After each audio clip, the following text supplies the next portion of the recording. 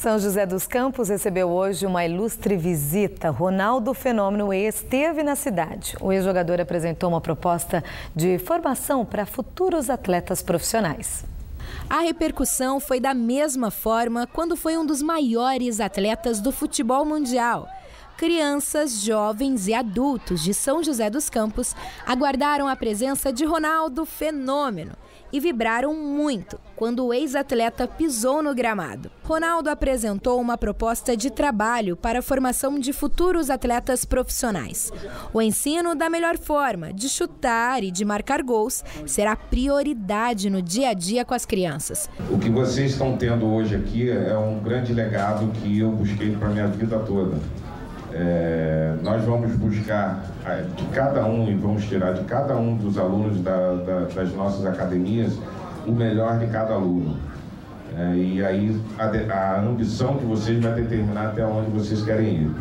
Mas quando a pergunta foi sobre o que ele achava do atual cenário político da Confederação Brasileira de Futebol, com as denúncias de corrupção que atingiram os ex-presidentes Marco Polo Del Nero e José Maria Marim. O futebol está vivendo reflexo da nossa sociedade, de, de tudo que está acontecendo no nosso país. É um momento de que onde as pessoas estão buscando cada vez mais transparência e no futebol é, não é diferente. A Confederação Brasileira de Voleibol divulgou as datas das partidas da semifinal da Superliga. No próximo sábado, Taubaté recebe o Campinas às 11h30 da manhã no ginásio do Abaeté. O segundo jogo dos playoffs será dia 1 de abril, fora de casa. Se necessário, o terceiro confronto está marcado para o dia 5, novamente no Abaeté.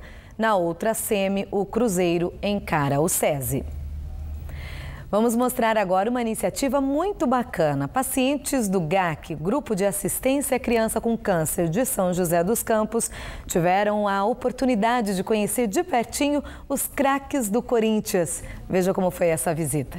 Crianças e jovens que fazem parte do GAC de São José visitar o CT Joaquim Grava, do Corinthians, na capital paulista, em uma ação social. Através do Renato Santiago, que é um ex-jogador, né, já jogou em vários times também lá de São José, ele teve essa ideia de trazer as crianças, né, até porque eles são corintianos né, apaixonados, deles poderem ter esse momento junto com seus ídolos e contar um pouquinho da história do hospital, do GAC, em São José dos Campos, e sensibilizar as pessoas para ajudar.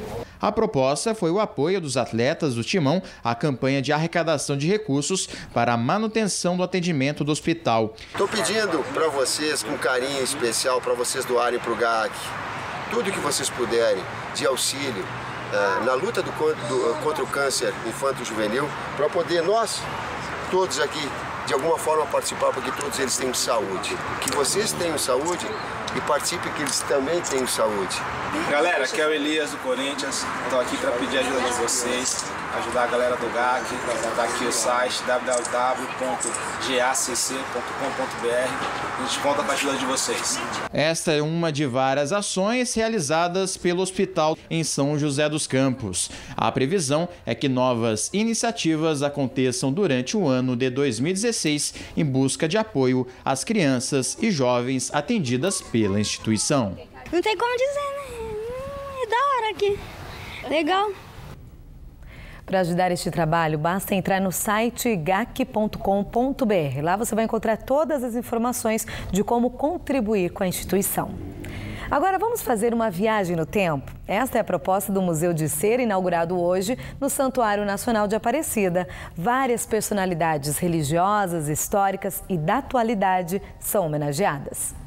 São 61 esculturas de cera em tamanho natural. Bispos, padres, políticos e personalidades públicas que ajudaram a consolidar a devoção à Nossa Senhora Aparecida e que sempre propagaram publicamente a fé na padroeira do Brasil. Aqui está, por exemplo, a figura de Princesa Isabel, que doou a coroa de ouro usada até hoje na imagem de Nossa Senhora.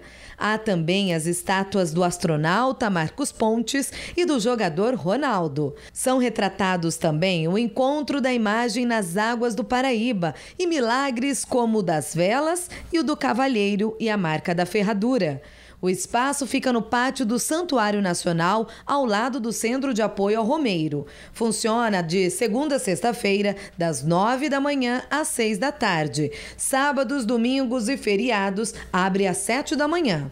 O ingresso custa 24 reais. Idosos, estudantes e portadores de necessidades especiais pagam meia. Boa noite para você.